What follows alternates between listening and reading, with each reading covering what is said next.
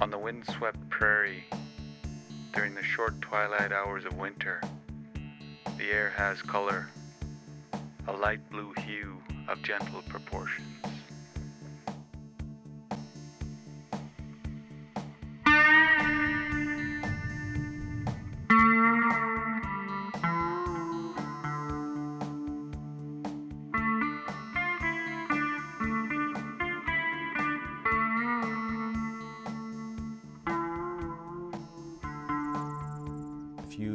Like the smell of tilled dirt and if you like the smell of, of harvest when grain is taken off the combine, if that, that's probably one of the biggest things that drives me to be a farmer.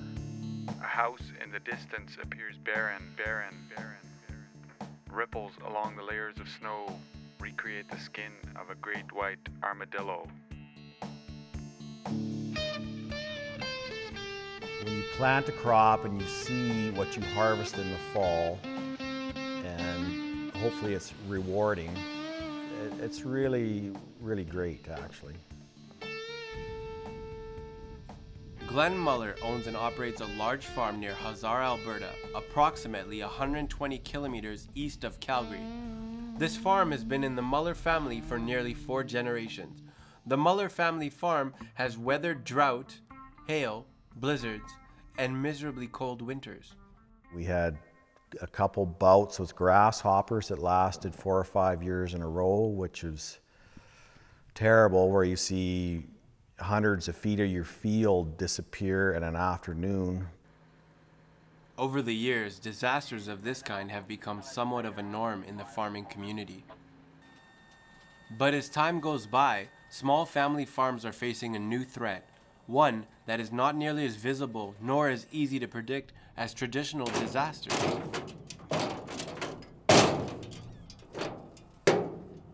Roger Hiller is retiring this year. He has operated Hiller and Sons farms near the Muller family farm for over three decades. The challenges facing the next generation of family farms are different than before, he says, because they will not be able to compete. The Equipment today is so expensive, and land prices are going up. Seems like uh, over the last, well, even the last five years, land prices have jumped anywhere from two to five hundred dollars an acre. Commodity prices have went up. That's probably a, a big factor to it. Huge returns that we never had before, but with those huge returns now, our, we've got huge expenses. They're following suit. The changing economic and technological structures around farming culture have made traditional family farms obsolete. Corporate farms and Hutterite colonies have an advantage with the smaller margins and are quickly taking over. But where does this leave rural communities and the family farm? one farm a year, in some cases maybe two in some years, gone. So if you do the math from now, from 60 to now, so at one a year, that's about how many farms we've lost. This trend, says Glenn Muller, is disconcerting. It is also very inefficient. Like I said before, our commodities have doubled in price. So now you have outside investors want to invest in farming operations. Lots of times they're getting the original farmer to farm the land where the company has purchased the land from the farmer. They're uh, sitting behind a desk and uh, trying to, you know, crunch numbers on how a farm works, but there has to be some hands-on to make it all work, or you will have lots of costly mistakes.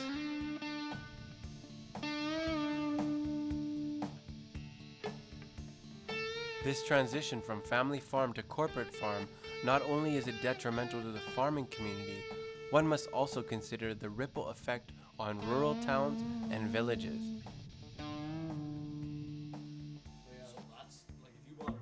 Clay Armstrong owns the local automotive shop in Hussar. He also sits on the town council. Yeah, small, not as many farmers out there, but they're farming more land, and they can do that because of the equipment as well. You can cover a lot of acres where years ago you couldn't. Uh, the elevators have changed. Instead of coming into your local elevator, you've got inland terminals. Farming has gotten to be a larger operation. There's not a lot of small family farms anymore. So we've got a fraction of the farms in our community that we used to have. Armstrong Automotive in small town Hussar is also a family business. But most of my customers, I would say the large percentage of them, realize that if they don't support me across the board, I won't be here when they need me. Like you saw tonight, people come in after I'm closed. That's not a big deal. They phone me at home, I come down, I do things for them. Although we've lost a lot of population, to a certain extent, the population's still there. It's just a Hutterite colony. And no, they don't support the local communities. I mean, I get very little to no business off Hutterite colonies. Now, the corporate farm isn't going to be a lot different. I don't want to say they're just like a Hutterite colony, but if you've got even a family run corporate farm, you've only got one family that's going to that store.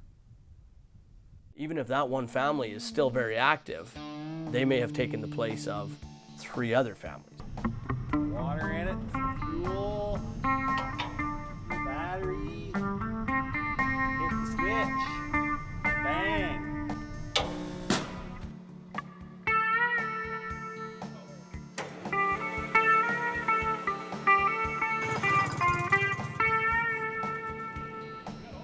No, we'll just continue on. I mean, if we have an opportunity to expand our size, we will, if it makes good sense. Um, but other than that, we'll just carry on and do what we're doing.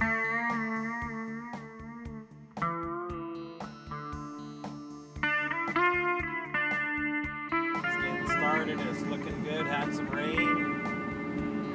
Just gotta get her all on the ground in good time. The silence speaks in the page wire fence is a scream born from across the horizon. When this lonely prairie cries its strange language, silence remains unbroken.